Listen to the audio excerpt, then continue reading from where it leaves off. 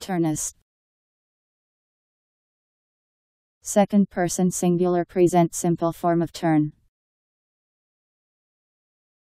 T U R N E S T.